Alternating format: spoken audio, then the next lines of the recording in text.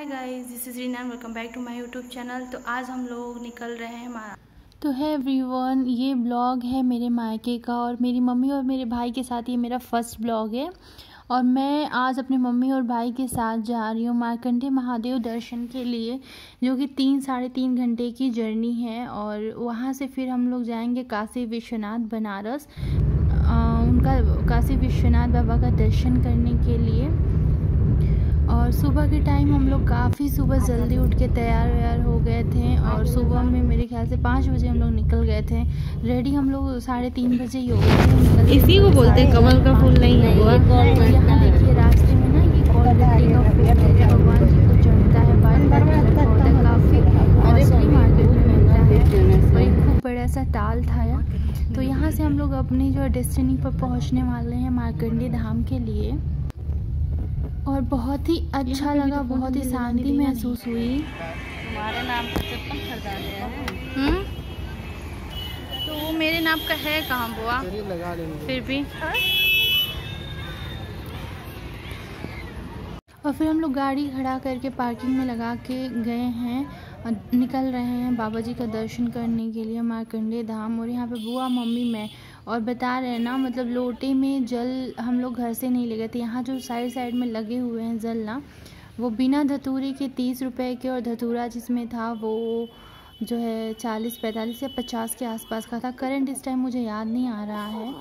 और देखिए, फिर यहाँ से हम लोग उसको लिए और थोड़ा सा संभल के यहाँ पे जाने लायक है। यहाँ पे पंडित जी लोग बहुत परेशान करते हैं, दान दक्षिणा के नाम पे, और उनके झांसे में तो बिल्कुल नहीं आना चाहिए। तो ये छोटा छोटा जो है ना, ये मिट्टी का बर्तन इसमें जल था और हम लोग की गलती ये थी कि हम लोग घर से कुछ नहीं ले गए थे। ये होता है ना कि मंदिर में वहाँ पे सब कुछ मिलेगा तो वहाँ से ले लेंगे। तो ये चीज़ लेके हम लोग दर्शन के लिए गए।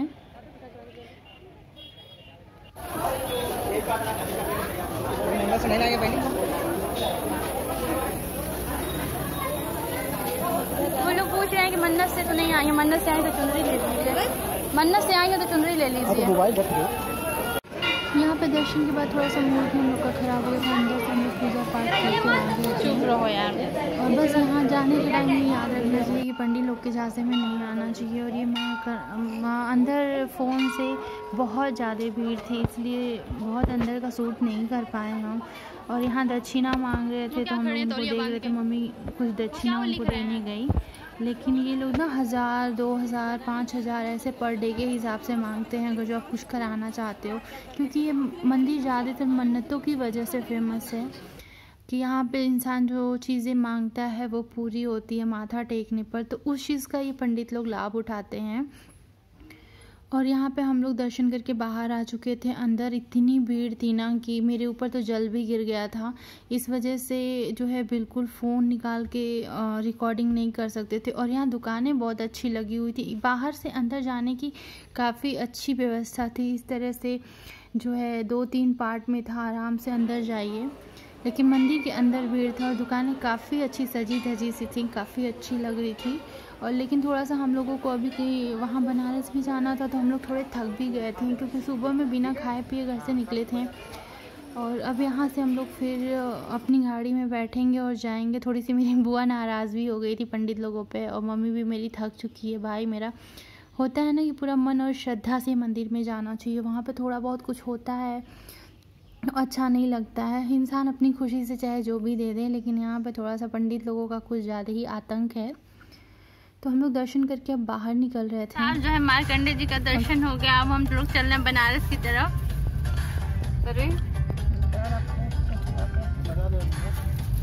तो यहाँ पे हम लोग फिर काशी विश्वनाथ के लिए निकल गए हैं। साढ़े नौ बज गया है।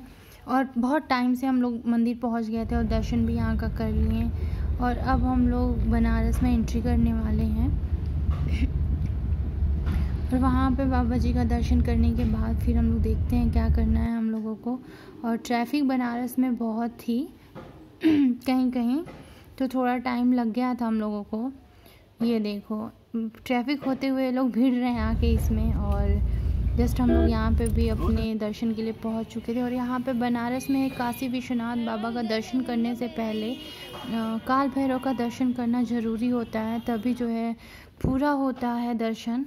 अगर जो काल भैरव का दर्शन नहीं करो तो शायद दर्शन पूरा नहीं माना जाता। फिर गाड़ी थोड़ा दूर खड़ा करके फिर अंदर काफ़ी करीब एक डेढ़ किलोमीटर पैदल चलना पड़ रहा था। तो हम लोग अपना जो है स्लीप लोग आ चुके हैं काल भैरव दर्शन के लिए। पैदल चल रहे थे।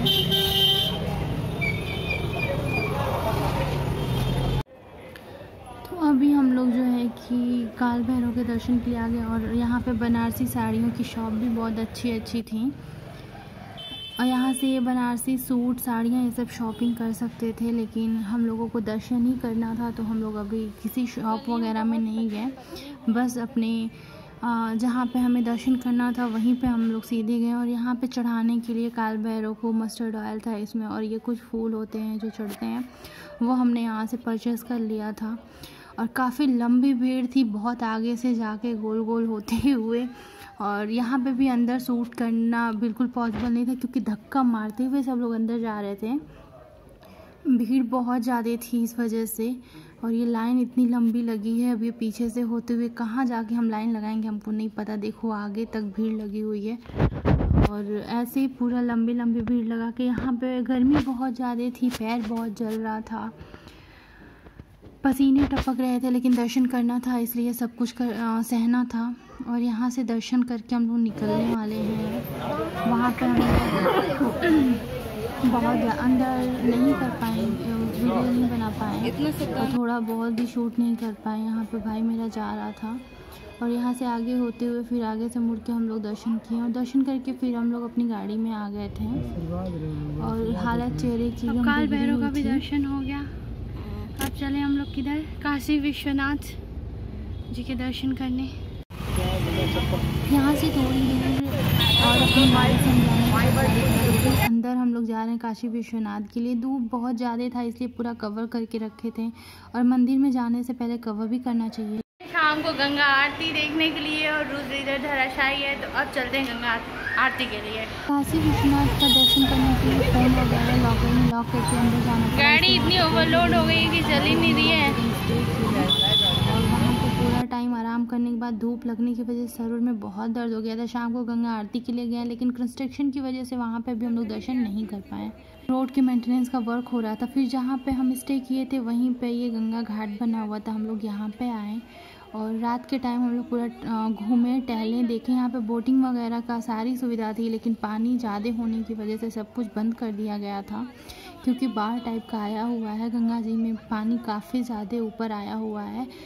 और इस वजह से हम लोग शाम में आए, यहाँ पे एक डेढ़ घंटा घूमे इंजॉय किए। और उसके बाद हम लोग यहाँ से जाएँगे, खाना खाएँगे, रात में रुकेंगे और फिर नेक्स्ट डे हम लोग विंध्याचल के लिए निकलेंगे। इसलिए आप लोगों को मैंने सोचा ऐसे ट्रैवल करा के दिखा देती हूँ। मतलब खूब घूम के दिखा देती हूँ आप लोगों को। बच्चे पूरा इंजॉय कर रहे थे और सबसे अच्छे से इंजॉय बच्चे ही करते हैं। तो आशा करूँगी आप लोगों को ये वीडियो अच्छा लगेगा। वीडियो अच्छा लगे तो चैनल को सब्सक्राइब वीडियो को लाइक और शेयर ज़रूर करें। कमेंट करके ज़रूर बताएँ वीडियो कैसा लगा। मिलेंगे आप लोगों से नेक्स्ट वीडियो में। बोटिंग वगैरह है सब कुछ बंद है। चलो रात बहुत हो